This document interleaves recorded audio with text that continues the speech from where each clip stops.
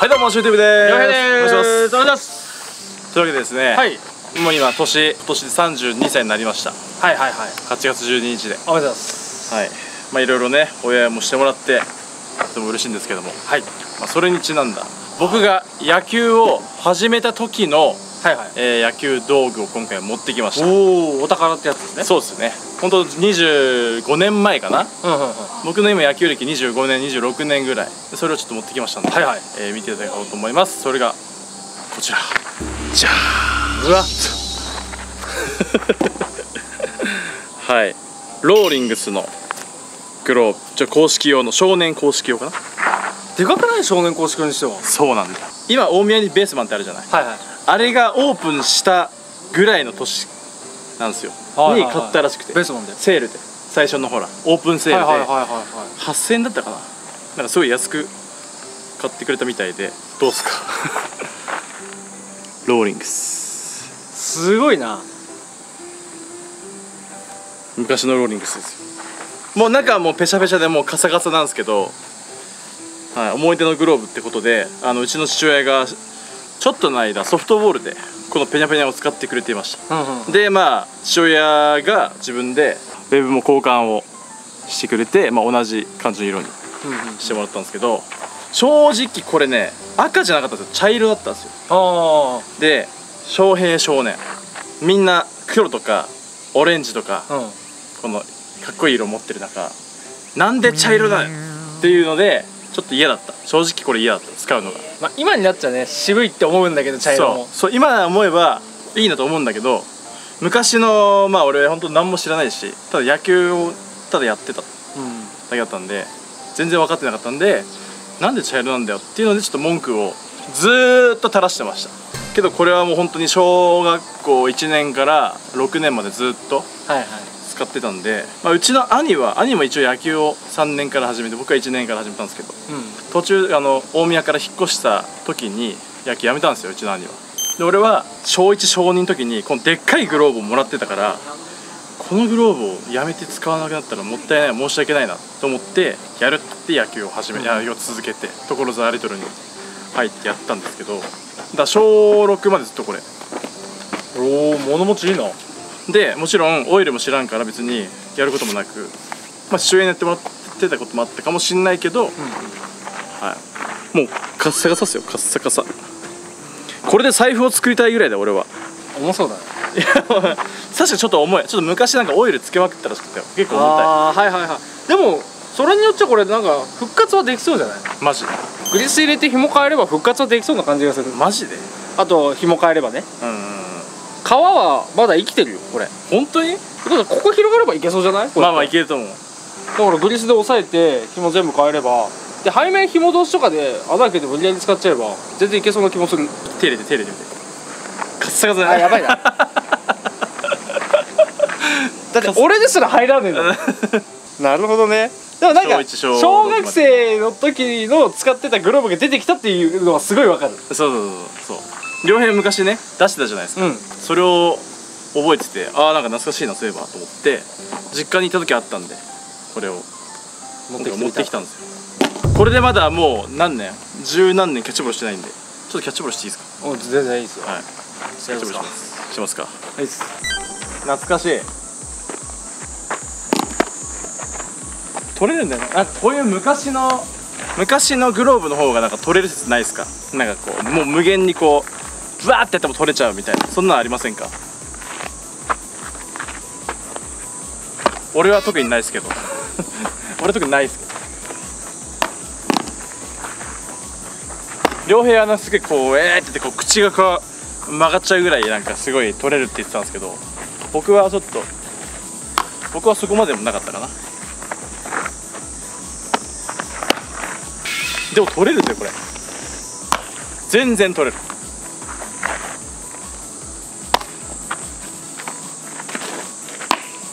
パー言ってみたそうだな。7パーじゃねえあれだ。プロテオスいいねプロテオス。栄養を与えてる。いいね。マジペニャペニャ。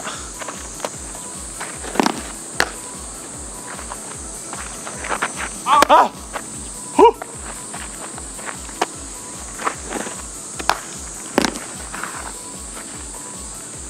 皆さんも小さい頃使っていたグローブもしあったら僕に DM してください。みんなの古いグローブ見てみたいなと良平が言っております。させてください。やっぱり今ってやっぱね僕ら最新のばっかですけどやっぱ昔のもやっぱ昔のがあっての今だと思うんで昔のもよかったらどういうグローブをみんな使って生きてきたかなってすごい見たいなと思いますんで。ちょっと交代してお願いしますないのか。これ。これないのか。すいませんお願いします。はい。じゃあまずね開かんもんこれ。開かない。笑うしかねえや。開かない。ハマるが正しい。そうそう。取るじゃないハマる。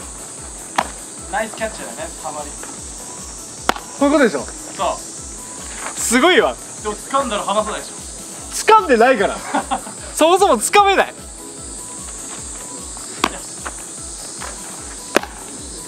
どう？なんだろう。長嶋茂雄モデルみたいな。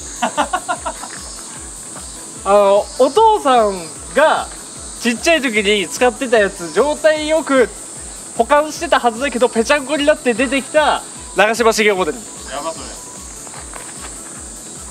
じゃあ俺が長島修行ってことでいいかな。でもあれでしょ？新人から3割30本打てないでしょっていう。いけない。スキップはできるスキップはできる。なんだっけ？長嶋監督慶喜呼びたくてずっと久典って言ってたんだっけ？でもねポケットの中で動かないんだよね。ああそう動くスペースがないかもしれないけど。掴んだら動かない。そうそうそう。ハマったら離さない。でハマりさえすれば。ハマりさえすればいい。今出たねでも。押し込んで取ると出るわ。といった感じでこれどうですかね。いやあのねごめんね。笑うしかなかった。いやまあまあまあまあしゃあないよ。いやでもだからね違うんだよ。でも皮取れるってことは皮の状態はいいんだよ。おおマジ？だからちゃんと修理してで修理がまだ効く？効くかここで型直しすなだから紐変えてグリス入れてとかいうのをやったらいくらかマシになるんじゃないかなとは。でちゃんとオイル塗って。頑張ってみちゃえば。ちなみにこれ俺ピッチャーとライトだったよ。少年時代、まあでかいからね。外野はそれでも分かるかもそう。そうそうこれなんて書いてあるんだろうな。見える？いい。これ見えるかな？見えないよな。ここに「エディット」って書いてあったりまあ型番とかもちょっともう分かんないねさすがにそれは吸い切れちゃってんじゃないかうん。このラベルはもうほんと昔しかないようなやつじゃん。ローリングスジャパン。このローリングスって書いててこのここの下にアシックスって書いてあるんですよ。だからアシックスローリンあアシックスローリングスってあった昔だってああれじゃアシックスがローリングスの日本下請けだったから。のあそうなんだ、じゃあ西島さんが言っときかそうそうん。すごいね。じゃあ西島さんに今度見せなきゃな。アシックスローリングス使ってましたよ。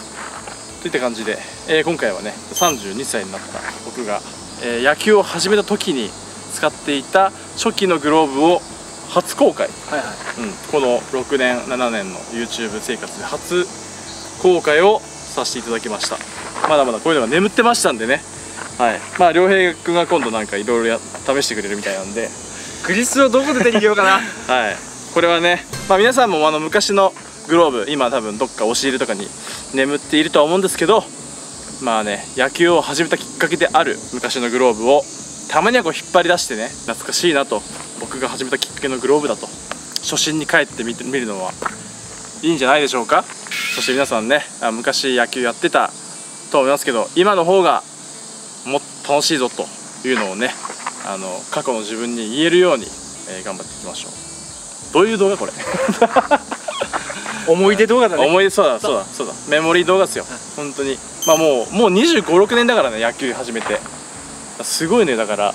思い入れもすごいしその2 5 6年でどんだけの人に出会ってきたか、うん。今多分見ている方も100人200人いると思うんですけどそういう人もね多分交流ってあると思うしまあそれ野球やってるおかげなのでもう野球やってた関係で出会った方えーもう全ての人に感謝をしながら2人で頑張っていきたいと思います。よろしくお願いします、お願いしますというわけで、えー終わります。チャンネル登録とコメント高評価よろしくお願いします。それではありがとうございました。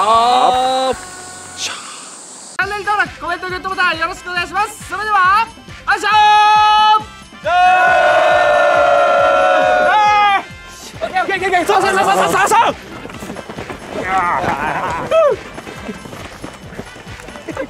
視聴平 TV2022 年 T シャツ販売1万人突破皆さん本当にありがとうございます。これ着て役やろうぜ「